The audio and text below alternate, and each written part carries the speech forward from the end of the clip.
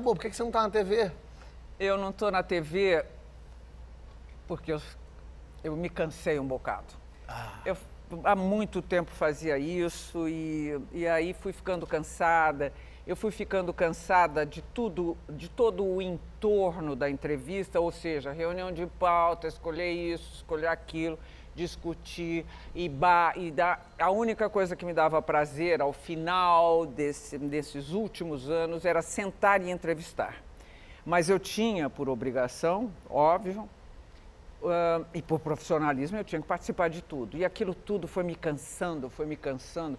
Uh, eu faço entrevistas desde os 20 anos de idade, não interessa com quantos anos estou agora. Absolutamente, faz tempo. E aí houve um dia que eu me cansei, eu fiquei, eu adoro viajar, nós adoramos viajar. Sim. A gente já se encontrou por aí no mundo. É. E eu queria ter mais tempo para viajar, para fazer nada. Eu adoro fazer nada. Já ouviu falar de fazer nada? Você ainda não? Lá longe, lá longe, não, ouvi falar. Fazer nada. O que você vai fazer hoje? Tem dia que eu falo assim, hoje vou fazer nada.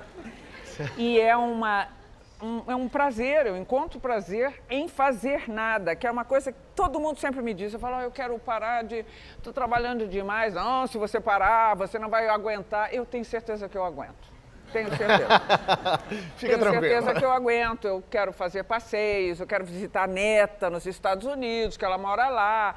Eu quero ir para qualquer lugar do mundo ou ficar no sofá do meu quarto fazendo nada, entendeu?